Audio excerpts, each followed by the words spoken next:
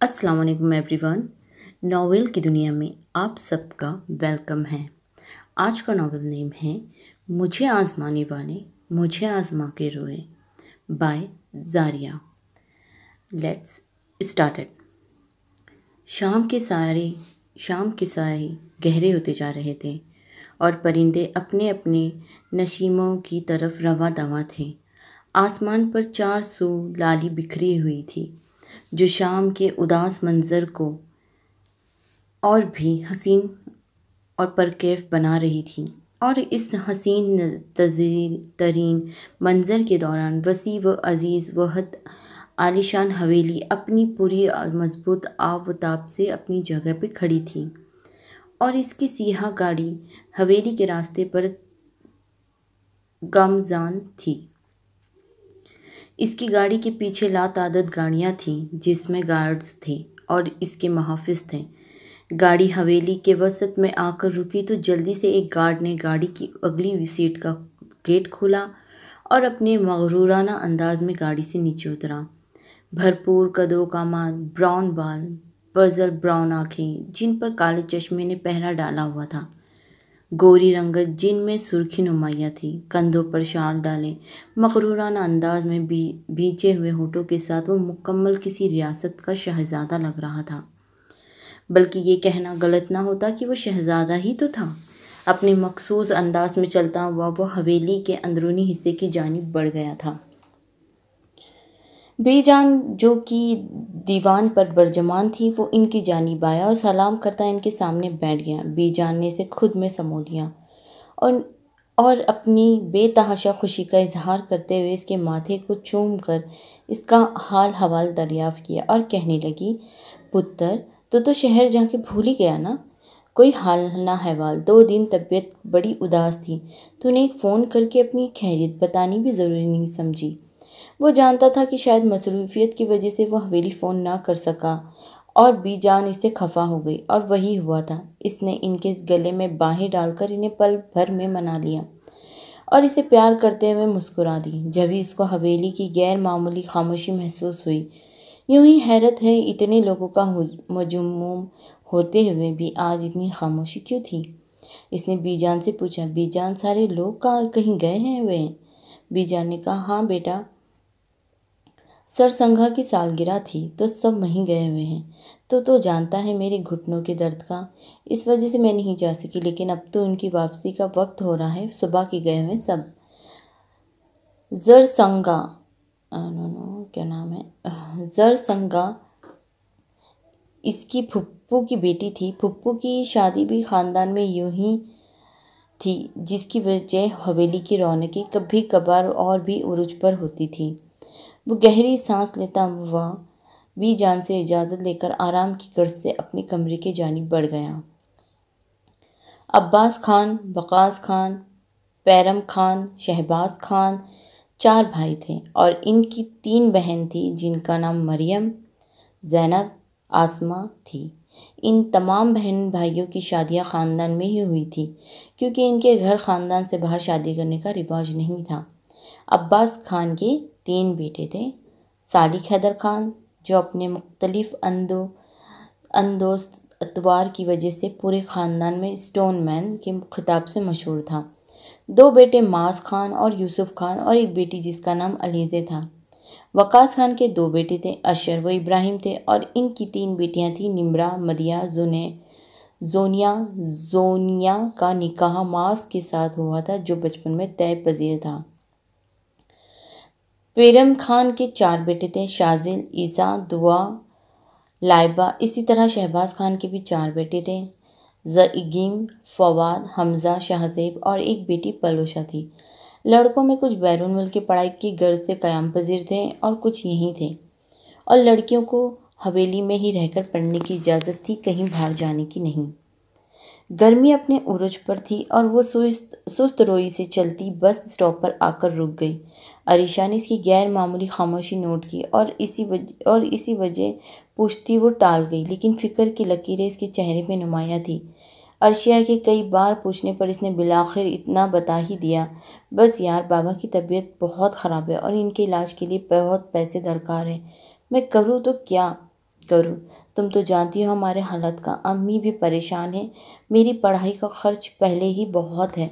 अब अब्बा की, अब बाबा की बीमारी ने इन्हें तोड़ दिया है। वो भी सिलाई करती हैं, लेकिन इससे कितना होगा, क्या होगा?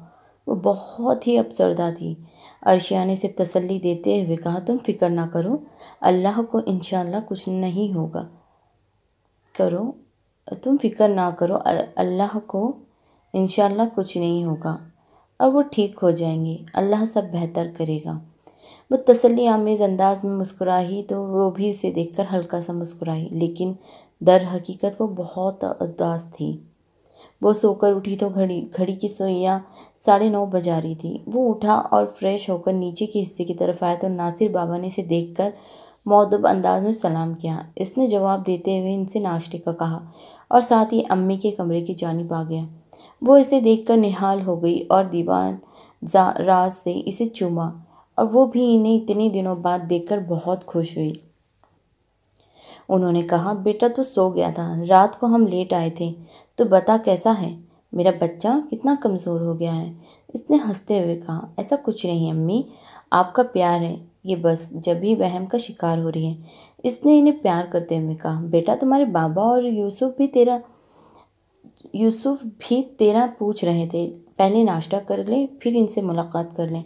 वो जानता था बाबा की जान भी अपनी गफ़ी का इजहार करेंगे, और इसकी लापरवाही का शिकवा भी, और ऐसा ही होता था। वो हंस हंस कर सब लोग सवाल सबके सवालों का जवाब दे रहा था। आज सबको हैरत हो रही थी कि इतने खुशगवार मूड में क्यों है? वगरना इसका मूड, हम वक्त ऐसा होता कि सब इसके सामने जू ना, सब इसके सामने जू करने से भी खौफ खाते थे। वो घर आई तो घर की हौलनाक खामोशी ने इसका इस्तकबाल किया। वो उदासी कैफियत में चलती अम्मी और बाबा के मुश्तरका कमरे की जानी बढ़ गए और अंदर दाखिल हुई तो देखा कि बाबा पलंग पर लेटे हुए थे और अम्मी के पाँव दबा रही थी और इसने आहिस्ता आवाज़ में सलाम करते हुए बाबा को तबीयत पूछा। तो अम्मी ने कहा, बेहतर है, बस ज़रा पाँव में तकलीफ़ है। इसने दिल ही दिल में खुदा का शुक्र अदा किया क्योंकि पिछले दो रोज़ से बाबा की तबीयत ख़राब थी, लेकिन आज वो कदरे बेहतर लग रहे थे। वो चेंज करने की गर्ज से अपने कमरे में चली गई। तकरीबन एक हफ़्ते के बाद आज वो शहर वापस जा रहा था।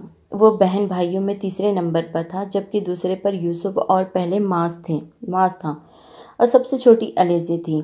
आजकल हवेली में माज और जोनिया की शादी की बात चल रही थी। निकाह तो बचपन में हो गया था, लेकिन अब बी जान और दादा जान को अपने बाकी अरमान भी पूरे करने थे। जोनिया की शादी, इस हवेली की पहली शादी थी, इसी इस, इसलिए सभी परजोश थे। रुखसती की तैयारियाँ ज़ोर पकड़ने लगी। वो गाड़ी में आकर बैठा तो ड्राइवर की गाड़ी आगे बढ़ा दी। इसका क़याम शहर में बने अपने फार्म हाउस में था, होता था। वह वहीं से तालीम हासिल करने के साथ साथ सियासी कामों में भी मसरूफ़ होता था। गाँव में तो सरगे, वो पंचायत का काम बाबा खान, वो दादा खान ही नहीं देखते थे। बहुत लंबा और थका देने वाला सफ़र था। जब शहर पहुँचा तो शाम हो चुकी थी। फार्म हाउस पर पहुंचकर सबसे पहले इसने अपनी जगह, जिगरी जिगरी दोस्त अदनान को फ़ोन करके अपने आने की इतला दी और फिर जूतों समेत बेड बेड पर गिर गया। हवेली फ़ोन करके अपने खैरियत से पहुँचने इतला दी। बाद में बेड पर धसते हुए नींद की वादियों में उतर गया। तमाम तैयारी मुकम्मल हो चुकी थी और आखिर वो दिन आ ही पहुँचा यूनिवर्सिटी में। आज फ़ंक्शन था, जिसमें जाने के लिए वो तैयार थी। हालाँकि बाबा की तबीयत तो अब भी बेहतर थी। फिर भी इसका दिल चाह रहा था कि वो दो रोज़ की छुट्टी ले लें, लेकिन अम्मी ने इसे हर तरह मुमकिन, हर तरह से मुतमिन करते हुए इसे अर्श, अर्शिया के साथ जाने पर आमदा कर ही लिया। इसने इसे फ़ंक्शन के किसी भी प्रोग्राम में हिस्सा नहीं लिया था। हालाँकि वो एक जहीन स्टूडेंट थी, लेकिन वो आजकल जिस सदमाती कैफियत से दो चार थी, इसके लिए इन तफरी को यूँ ही सवाल ही नहीं पैदा होता था। अरिशिया के वो साथ वो यूनी की गेट के अंदर दाखिल हुई तो इसके कान में पीछे से एक लड़की की आवाज़ टकराई। वो शायद अपनी दोस्त से मुखातिब थी। उफ सुना है, आज के फ़ंक्शन में कोई बहुत ही ख़ास मेहमान अपनी हाज़िरी देने वाले हैं। और सुनने में आया, ये भी आया है कि वो एक फेवर्डल फेवरडल सिस्टम से बिलोंग करता है। फेवरडल सिस्टम से बिलोंग करता है। ब्ला का बला का हैंडसम है। आज तो मज़ा ही आ जाएगा। सोहा ने सोचने लगी कि लड़कियाँ पढ़ने की बहाने अपनी दिल तस, अपनी दिली तस्कीन को पूरा करने आती है। ऐसी लड़कियों से सख्त चिड़ थी यही वजह थी कि इसकी एक ही दोस्त थी और बिल्कुल ही इसके मिजाज की थी। दस बजे के करीब फ़ंक्शन स्टार्ट हुआ और वो एक कोने में खड़ी अर्शिया से बात करती हुई इन रौनकों से भी लुत्फ अंदोज हो रही थी। अर्शिया अर्शिया, और इसके हाथ में कैन का डब्बा था, जो कैंटीन से लाई ही थी। जब भी इसकी नज़र सामने उठी, ब्लैक थ्री पी सूट में नफाहत से सजे सिल्की बाल और आँखों पर काला चश्मा डाले, अपनी बेतहाशा स्मार्टनेस के साथ एक हाथ में जेब, एक हाथ जेब में डाले, वो प्रिंसिपल फयाज सर से मुसाफा कर रहा था और अपने अंदर इतनी जज्बातियत रखता था कि एक लम्हे के लिए सोहा मुराद की नज़रें भी जिसे ठटक कर इसकी जिसम जिम, जम सी गई थी। दूसरे ही पल वो सामने से नज़रें हटा गई। फिर वो फयाज सर के हमरा कदम बढ़ाता स्टेज की जानब चला गया। लड़कियों में जैसे हलचल मच गई थी जो लड़कियाँ जार बेजारी और सुस्ती के आलम में थी इनमें इनमें भी जान आ गई थी। वो जब तक बैठा रहा एक बार भी इसने इसके चेहरे पर मुस्कुराहट नहीं देखी। सर फयाज ने मुसाफा भी इस, इसने हल्की सी रस्मी मुस्कुराहट के साथ ही किया था। शायद ये संजीदगी की तबीयत की ख़ास अहम हिस्सा थी। इसकी शानदार पर्सनैलिटी पर्सनल पर्सनलाइट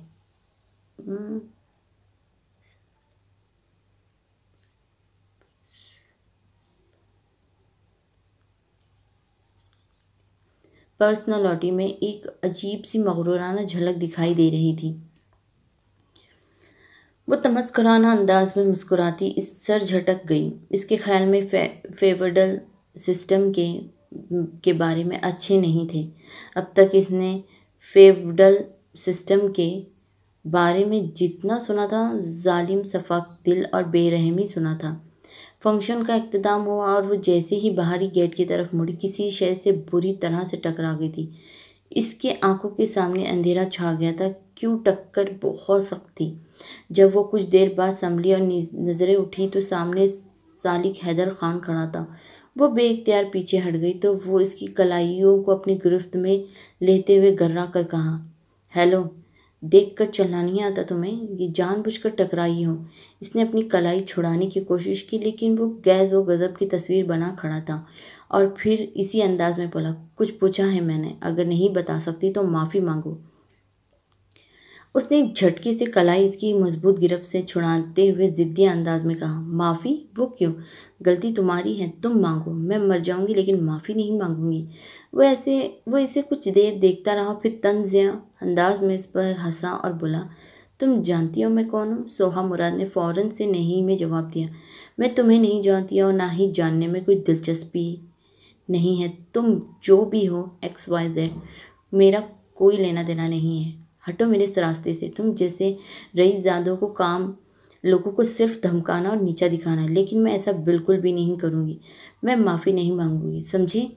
तुम वो गुस्से से लग चबा चबा कर बोली। एक बार फिर इसकी किला, कलाई को अपने मज़बूत हाथ में पूरी तरह मरोड़ते हुए, उसने गर्राते हुए कहा, माफ़ी तो तुम्हारा बाप भी मानेगा। तुम मुझे जानती नहीं हो। तुमने बहुत बड़ी गलती की है मुझसे ज़बान दराजी करके। मैं ज़बान खींच कर लेता हूँ जो मेरे सामने मुँह खोलने की गुस्ताखी करते हैं। इस बार इसने अपना हाथ पूरे ज़ोर लगाकर छुड़ाया और एक जन्नाटेदार थप्पड़ इसके मुँह पर दे मारा। यूनी में एक हलचल सी मच गई थी। इर्द गिर्द देख कर तमाशा देख भीड़ लग गई थी। इसके गार्ड्स दौड़ के आगे बढ़े, लेकिन इसने हाथ के इशारे सुर रोक दिया। बाद में अपनी बेतहाशा सुर काके इसकी आँख की, इसकी आँख, इसकी आँखों में डाल कर गोया। शेर की मानन गर्रा कर कहा, तुमने जो गलती की है, सो खामियाजी तमाम उम्र तुम्हें भुगतना पड़ेगा। Just wait and watch, okay? ये कहते हुए वो झटके से मुड़ा और अपनी गाड़ी में जा बैठा। इसके बरक्स वो सर झटक कर रह गई। देखते ही देखते गाड़ी धूल उड़ाती नज़रों से ओझल हो गई। सर फयाज इतलाह पाकर जब तक लॉन की जानी बातें तब तक वो जा चुका था। उन्होंने गुस्से भरी नज़र इस पर डालकर अपने ऑफ़िस में आने का कहा। इसने एक नज़र अर्शिया को देखा और अपने और इसके साथ ऑफ़िस की तरफ़ चली गई। सबकी नज़र इस पर थी। दबी दबी सरगोशियाँ भी जारी थी। इनमें से कुछ अब ऐसे भी थे जिनको असल मामले की खबर तक तो ना हो सकी थी और ऐसे भी थे जिन्होंने सब कुछ देखा था, लेकिन दर हकीकत सोहा मुराद को रत्ती भर परवाह नहीं थी। इसके ख्याल में ये सब दो दिन में धुआँ बनकर उड़ जाएगा। वैसे भी इसकी दानिस्ता में इन, में इनसे बहुत अच्छा किया था, लेकिन अब जो वक्त इसकी ज़िंदगी में आने वाला था, इससे वो कतई बेखबर थी। वो ऑफ़िस में दाखिल हुई तो सर फयाज को बेहद गुस्से में अपना मुंतज़र पाया। सर फयाज दोनों हथेली हैं, पेशानी पर टिकाए मुसल टिकाए, परेशान हाल में बैठे थे। आहट पर सीधे होते हुए इसकी जानब नज़रें किया और इसे बैठने का इशारा किया और अर्शिया के साथ खासी सुस्त रोई से बैठ रखी, चेयर पर बैठ गई। उन्होंने चंद लम्हे इसकी कड़ी नज़रों से घुरते हुए गोया, गर्राते हुए पूछा, मिस सोहा, क्या मैं पूछ सकता हूँ आपकी होश वो हवा सलामत है? सोहा ने ज़रा की ज़रा नज़रें उठाकर खासे तहमिल से जवाब दिया, सर, गलती मेरी नहीं थी। सर, फयाज ने आबरू झुकाकर दोबारा सवाल किया, आपको अंदाज़ा है कि क्या किया आपने? वो हमारे बहुत ख़ास मेहमान थे। आपने आज ये बदतमीज़ी करके क्या साबित करना चाहा? क्या आप ये बताना चाहती हैं कि लोगों को आप बहुत बहादुर हैं? उन्होंने गुस्से में पूछा, सर, बदतमीज़ी मैंने नहीं, इन मिस्टर ने की है। सोहा ने झुटक झुकते हुए सर के साथ जवाब दिया। सर, फयाज ने गोया से तहमी अंदाज में बाबर करवाया। अगर आपके साथ आगे कुछ बुरा हुआ बुरा हुआ तो मैं पहले ही क्लियर कर देना चाहता हूँ कि इसके ज़िम्मेदार मैं नहीं होगा। इसकी ज़िम्मेदार आप खुद होगी। और एक बात, अगर ऐसी कोई भी बात हुई तो आपको इसी रोज़ यूनिवर्सिटी से खारिज कर दिया जाएगा। अब आप जा सकती हो। उन्होंने चंद लम्हे में बात ख़त्म कर दी और जाने का इशारा कर दिया। वो अरीशा के साथ मरे मरे कदमों से बाहर निकली और राहदारी की बेंच पर जाकर बैठ गई। अरीशा ने इसे तसलिया अमेज़ अंदाज में अपना हाथ उसके हाथ पर रखा तो उसने बहुत बेचारगी के आलम में अरीशा की जानब देखा। यार एक मुसीबत ख़त्म नहीं होती, दूसरी आ जाती है। मेरी ज़िंदगी में वो कमीना है कौन, जिसे सर इस कदर अहमियत दे रहे हैं? वो बेजारी और गुस्से में बोली, मैं खुद भी सोच रही हूँ, तुम्हें इस जैसे शख्स के हाथ साथ मुँह नहीं लगना चाहिए था। खामोशी से पीछे हट जाना, जाती है ना? अब पता नहीं वो क्या करेगा। सर की बातों से तो यही लग रहा है, वो कोई बहुत बड़ा आदमी है। अरिशा की बातों पर वो ज़ोर से हंस दी और बोली तुम भी ना, ऐसा कुछ नहीं है। मैं तो सर की बातों पर थोड़ा परेशान हो गई हूँ अगर सच कहूँ तो मुझे इस पागल इंसान की कोई फ़िक्र नहीं। हूँ वो नाक चढ़ाते हैं हुए बोली अरिशा इसकी तरफ़ देखकर ठहर ठहर कर कहा, सर की बातों से तुम इसलिए परेशान हो क्योंकि कहीं ना कहीं तुम्हें भी अंदाज़ा है, वो कुछ भी कर सकता है। इसकी बातों पर सोहा मुराद चुप हो रह गई। खोते हुए दिमाग, खोलते हुए दिमाग के साथ वो फार्म हाउस के अंदर दाखिल हुआ। अपने रूम में आकर वो बेड पर जूतों समेत गिर पड़ा। इसका दिमाग इस कदर सिलग रहा था कि चाह रहा था दुनिया की हर शह को आग लगा दे। सिलगते हुए दिमाग के साथ इसने सिगरेट सिलगाया और कश लेने लगा। सिगरेट ख़त्म करके इसने दूसरी सिलगाई और इंटरकॉम के ज़रिए गार्ड को अंदर आने का हुक्मनामा जारी किया। गार्ड इजाज़त लेकर अंदर दाखिल होता उसने सिगरेट पैरों तले मसल कर उसकी जानब अपनी सुर्ख आँखें उठाकर देखा और कहा, इस लड़की के मुतालिक मुझे ए टू जेड इन्फॉर्मेशन चाहिए। दो दिन के अंदर, दो दिन मतलब दो दिन। अब जा सकते हो। गार्ड सर को इशारे में हिलाते हुए बाहर निकल गया और वो सिलकते हुए दिमाग के साथ बेड पर वापस ढह गया। वो यूनी के गेट से निकली तो अपने चेहरे पर किसी की नज़रों की तपिश महसूस हुई। इसने तराफ में देखा तो इसे कोई नज़र नहीं आया। वो अपना वहम समझ कर सच झटकते हुए वैन की जानब चल आई। आज अर्शिया इसके साथ नहीं थी। किसी वजह से इसने छुट्टी ली थी। वो अकेली आज ही जी भर के बोर हुई थी। वो घर के गेट पर उतरी तो जैसे ही गेट खोलने के लिए हाथ बढ़ाया, फिर इसी एहसास ने इसने घेर लिया। इसने पीछे मुड़कर चारों तरफ़ नज़रें दौड़ाई तो यकायक इसकी नज़र? इसके कुछ फासले पर नीम के दरख्त के नीचे खड़े दो मोटे शख्स पर पड़ी थी। वो काले लिबास में थे और अपनी लाल आँखें इस पर गाड़े खड़े थे। एक अजीब सा डर इसे अपने शिकंजे में जकड़ने लगा। वो जल्दी से गेट खोलकर अंदर दाखिल हुई और अंदर से गेट लॉक कर दिया। वो तमाम रात एक पल की नींद नहीं सो सका। इसका दिमाग, इस कदर माफ़ हो रहा था कि इसकी किसी भी बात करने का दिल भी नहीं चाहा। अदनान की कई कॉल पर भी इसने कोई रिस्पांस नहीं दिया। हवेली से भी बेजान की कॉल अलग, अम्मी की कॉल अलग, बाबा जान की अलग, लेकिन इसने किसी से भी बात नहीं की। फ़ोन भी बज बज कर चुप हो गया था। इसे मालूम था, बस सब परेशान हो रहे होंगे। नाश्ता करके इसने कॉल बैक का सोचा, आज इसका यूनी जाने का कोई इरादा नहीं था।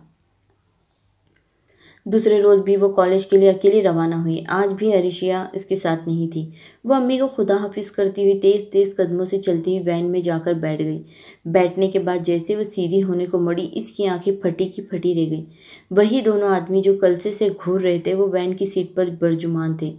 आगे शायद ड्राइवर बैठा हुआ था। इससे पहले वो कुछ समझती इसने एक ने रुमाल इसके नाक पर रख डाला, इसके बाद इसका जहन अंधेरे में डूब गया।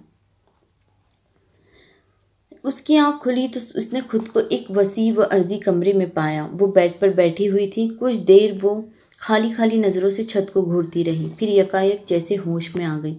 इससे अब समझ में आ रहा था कि वो किडनैप हुई है। लेकिन कौन करेगा इसे? ऐसा वो और क्यों? इसका जहन इस वक्त काम नहीं कर रहा था। वो डरती हुई दरवाजे की जानी पाई और इसे पीट डाला। मगर दरवाज़ा लॉक था। वो ज़ोर ज़ोर से रोने लगी।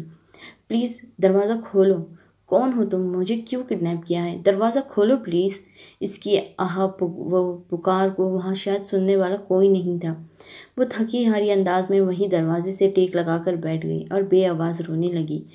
वो एक शानदार कमरा था जिसकी एक एक शय घर के मालिक की नफासत झलका रही थी।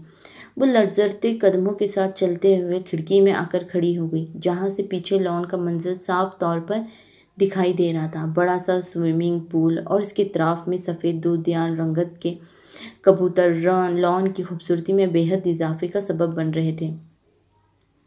वो कुछ देर ही खड़ी रही, जब जैसी ही पलटने के लिए रुख मोड़ा तो इसे दरवाज़ा का लॉक खुलने की आवाज़ आई और अंदर आने वाले दराज कद वो कामर शख्स को कमरे की नीम रोशनी की वजह से साफ़ नहीं देख पा सक, नहीं देख सकी। वो इसके पास आकर खड़ा हुआ। इसने सरसराती आवाज़ में पूछा, कौन हो तुम? इसने, उसने एक फलक शुगाफ कह के कि, कह, कहे की आवाज़ सुनाई दी। तुम्हारी यादाश्त इतनी गई गुजरी है कि तुम मुझ जैसे हीरे को भूल गई, हैरत है? सुबह का दिमाग खोया, झमाका हुआ। इस वक्त कमरा रोशनी में नहा गया और अब खुली आँखों से सामने खड़े शख्स को देख सकती थी। वो फटी फटी आँखों से इसकी जानब देख रही थी, जिसके चेहरे पे फतेह के, ज़ोर के असाफ ज़ोर के आसार वो साफ़ नज़र आ रहे थे। वह एहतजाया नज़रों से इसकी जानब देख रहा था। नफ़रत इसकी आँखों में साफ़ नज़र आ रही थी। पहचाना मुझे कि अपना तारफ़ भी अपने अंदाज में करानवाना पड़ेगा। वो गर्राते हुए इसके कानों से, कंधों से पकड़कर झुंझोड़ते हुए बोला, सोहा, मुराद को इस वक्त अंदाज़ा हो रहा था कि जिस गलती को इसने धूल में उड़ाना चाहा था, आज वो एक गलती एक भयानक रूप में इसके सामने खड़ी है। तुम्हें क्या कहा था? मैंने, मुझसे पंगा लेकर तुम अच्छा नहीं किया। अब मैं तुम्हें बताऊँगा कि मुझसे बदतमीज़ी करने का क्या अंजाम होता है। तुम्हारी ज़िंदगी जहन्नम बन के जाएगी। आज की तारीख से इस दिन बहुत अकड़ रही थी ना तुम? माफ़ी नहीं मांगोगी। और एक बार ज़ोर से हंसा और मज़ाक उड़ाने वाले अंदाज में बोला, अब तुम रोज़ माफ़ी मांगोगी। तो ना तुम्हें माफ़ी मिलेगी और ना रिहाई। आई समझ? इसके दोनों गालों को अपने मज़बूत हाथों से जकड़ते हुए कहा। झटका इतनी शद्दिद था कि वो दोबारा बेहोश होकर इसके बाहों में झूल गई। सालिक ने एक नफ़रत भरी नज़र इसकी खूबसूरत सरापे पर डाली और एक बेड बेड पर पटक कर दरवाज़ा लॉक करके अपने रूम की तरफ़ बढ़ गया। आज वो बहुत परसकून नींद सोने वाला था। इसका मिशन जो पूरा हो गया था। जारी है। पढ़कर बताइए सॉरी आप, कैसा लगा आपको? ये ज़रूर मुझे बताइएगा। और लाइक कीजिए और कमेंट्स कीजिए सब्सक्राइब कीजिएगा। ये मेरा न्यू चैनल है और आपको किस तरह से लग रहा है और कैसे कैसे आपको स्टोरी सुनना आपको पसंद है, जो भी है आपकी पसंद, आप मुझे कमेंट्स में बता सकते हैं और मैं इन ख्वाहिश करूँ, मैं इंशाल्लाह कोशिश करते रहूँगी कि मैं आपकी जो रिक्वेस्ट है उसको मैं पूरा कर सकूँ। तो थैंक्स आप लोगों को सुनने, आप लोगों ने मुझे सुना। अगर कोई गलती हुई हो तो सॉरी अल्लाह हाफिज़। वालेकुम एवरीवन। नावल की दुनिया में आप सबका वेलकम है। आज का नावल नेम है, मुझे